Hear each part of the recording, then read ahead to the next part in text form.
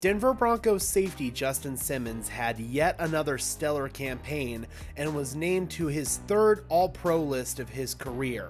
Despite missing five games, Simmons led the NFL in turnovers with nine, with six interceptions and three forced fumbles. Stats can lie, but the tape does not. The Ravens are going to be running what we like to call a razzle dazzle play. The Denver Broncos are going to be playing a cover three zone. I have Justin Simmons zone circled in red so they hand it off. Now look at 17 Kenyon Drake downfield right here. He's raising his hand saying I'm open. He's going to be late downfield on the throw and look at Justin Simmons. He is in position to get this ball the whole way. Ball hawk all the way, tracks it down, gets both feet down. That's a elite play from Justin Simmons right there.